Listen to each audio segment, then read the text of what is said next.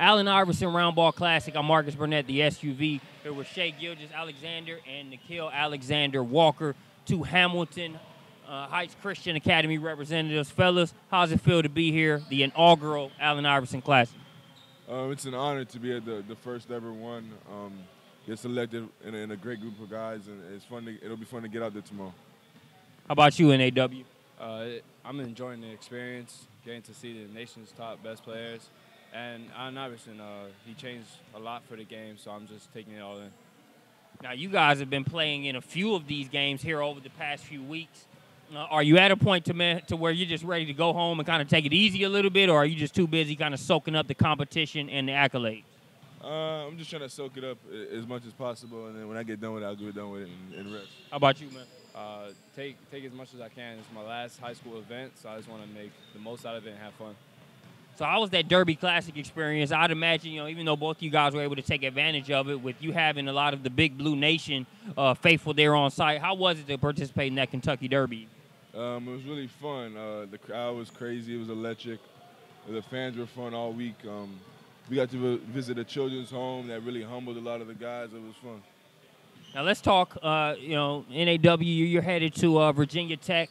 Talk about Buzz Williams, not only as a coach, but kind of as a person, and uh, and, and what you feel it's going to be like playing for a coach like that.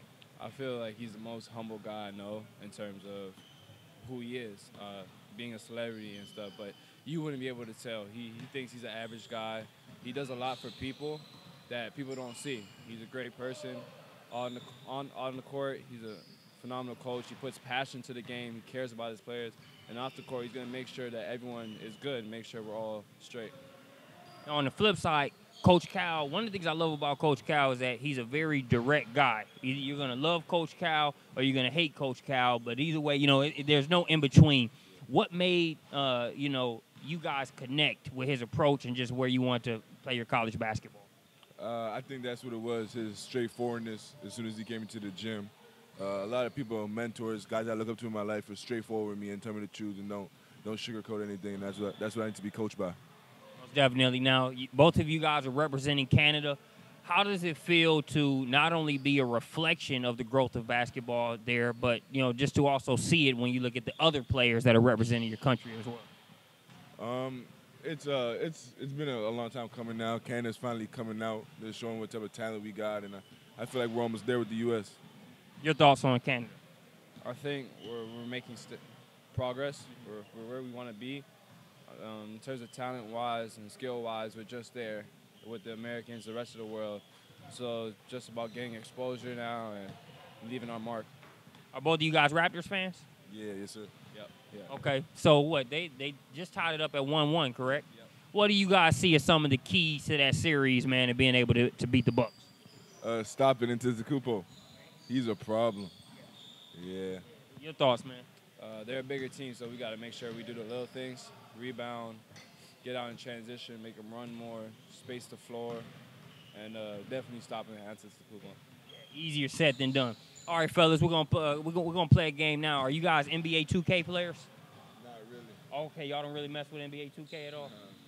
Got you, got you. Well, see, the, the exercise I was gonna do is I got everybody going through, and I have them ranking their play their their areas of their game like you're an NBA 2K player. So, uh, you know, your two point accuracy, your three point accuracy, your overall ranking as a player. We'll just do three areas for you guys. So if you had to rank your two pointer ability, like your mid range game, your three point shooting, and as an overall player, what what are your numbers, man? It's out of it goes to 99, right? Uh, two point, I say 90. Three point, I say 85, and overall like 87, 88. Now, you guys are teammates. So so you're give me give me your your grade on, on, on his assessment. Two point, I would say 90.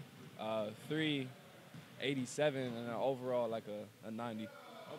Okay. Now you, you give me those that same breakdown on you. How would you rate yourself? Hey, you're you're a creative player. What, what would the attributes be? Uh, three point, I'm gonna say like 93, 94. Uh, two point, you know, 80, 87. But overall, I'm, I'm gonna have to say I'm like a, a 91. Okay. Okay. Now you as his teammate, your thoughts on that? Uh, two point about 45. Three point about his three point better than two. So I'll give it three point like 80, and overall about 72. Now you know these guys are joking. If you saw these guys' schedule last season, you know they weren't going to war against some of the best in the country if those rankings were really true. But, uh, but I appreciate you got to give them a hard time. That's your boy. Hey, I'm signing off here. Shai Gilgeous Alexander, Nickeil Alexander Walker. You can catch them in tomorrow's Allen Iverson Roundball Classic game.